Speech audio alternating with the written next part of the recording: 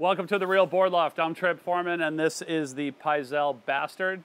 The Pyzel Bastard, uh, for those of you that are familiar with a Pyzel Pyzalien, let's just use that as a baseline when we're talking about the Bastard. The Bastard is definitely uh, more of a foiled, rockered shortboard compared to the Pyzalien. And when the Pyzalien tops out, that's a good time to be going over to the Bastard. Uh, when you're looking at this board, you immediately notice that the nose is going to be narrower than a Pyzalien. Also, the tail is brought in more. So you got a little bit of width right here, but then when you come into the tail, it's also narrower. The other thing is that there's a lot more foil, meaning that the, the rails are a lot more shaved down when they're shaping the board. So whatever the thickness is on the center line of the board, it's nowhere near that when you get out to the rails. So there's a lot more foam taken out on the rail. A little bit more rocker up front, and then also more rocker through the tail. No, by no means is this board uh, extreme, like at the top end of like you're never going to use it. It's more along the lines of having a board that that actually everything right now is like wider, shorter, flatter. Like make it as short, wide, and flat as you can. Where this is more in the other direction as far as a board, a, a, a more average length board that's going to have a little bit more curve to it, more foil to it, and can be ridden at the top end of the board uh, more effectively. The main thing with the Bastard is making sure that you size it correctly. So a lot of people, once they start looking outside of uh, a Pyzalien, they automatically think that the board's not for them. When you look at this board, uh, you know, you're typically looking at it in like 5'10", 5'11", 6'0", 6'1", and you know, super narrow, super thin. And if your dimension set doesn't fall within that range, that's okay. The most important thing is, is just to size to the volume that you know you like for that type of surf. So on, on my own boards, I'm typically riding anywhere from like 38 to 42 liters, depending on what I'm surfing. Uh, so this board I had John make me, and it's like 39 liters or 39 and change, uh, and, and rides really well for curvier, punchier surf.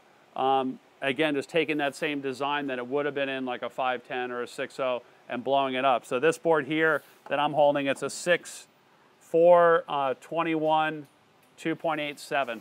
Um, and when you look at the rails, there's like no way that you would think that this board's 2.87 is on the rails because it isn't. It's 2.87 in the middle of the board, and then on the rails it's quite a bit more foiled down. So what does this mean for your surfing? Uh, with so many grovel, dedicated grovelers or semi-grovelers or hybrid grovelers or hybrid shortboards or groveling shortboards or everyday shortboards. This is none of those. Like when all of those boards start to feel flat and too fast, like you're having to check your speed or stop or skip or do everything to conceivably slide into the wave sideways because everything's too flat and square. That's where this board starts to work really well. Um, and it has the ability to to fit into curvy waves, to produce speed in curvy waves, and to not outrun curvy waves and to control the uh, speed. And it gets there by you know not having that nose width. The nose width isn't going to hook up on waves and, and toss you over the front. Um, the foil down rails are going to give you a lot more control and the ability to engage the rail higher up on the wave uh, before you get out in the flats and the lip clips you in the head. And then also by having that foil down narrower tail with a little bit more tail kick just gives you a lot more staying power, hold power like in the in the critical part of the wave. So you're not out racing it. You could stay where you want to be on the wave. So it takes a, a situation that's a lot more out of control on all of those other boards where you're just kind of hanging on and doing the best that you can and puts it all back in control, especially if you have the board sized um, correctly for the volume for the volume that you want, the length that you want. So great all around board. Um, for those of you that don't know, this is the board that uh, John John Florence used to win uh, the French WSL event last year. He was just on a standard 6-1 bastard and uh, show you that video clip right now. Some incredible, uh, incredible surfing on this board. Uh, but you know, again, don't don't take it meaning that that board is just for that level of surfing at that level of, of professionalism. You could ride this board at a intermediate and above ability as long as you size it right and you're using it in the right waves. It's obviously not going to work well if you're trying to surf it against a rat skull in, in thigh high surf.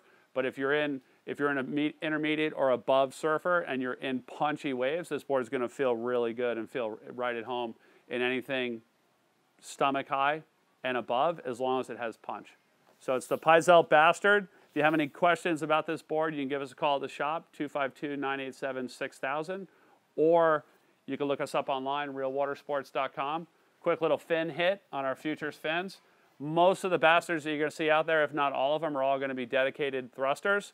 Um, this board says you are using it in average to really good waves. Uh, you're going to want to pair it up with uh, ride number. Uh, the fins that I have in here now are the AM2 in TechFlex, which is a 1 to 4. Um, if you're using it in, in just basic average surf, you can use it with a 4 to 7, something like a Jordy fin would work in there really well also.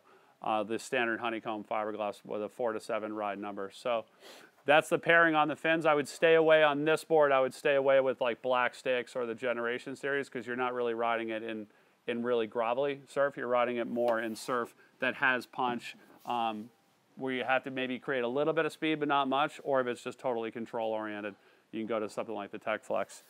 It's the Pyzel Bastard. Check it out.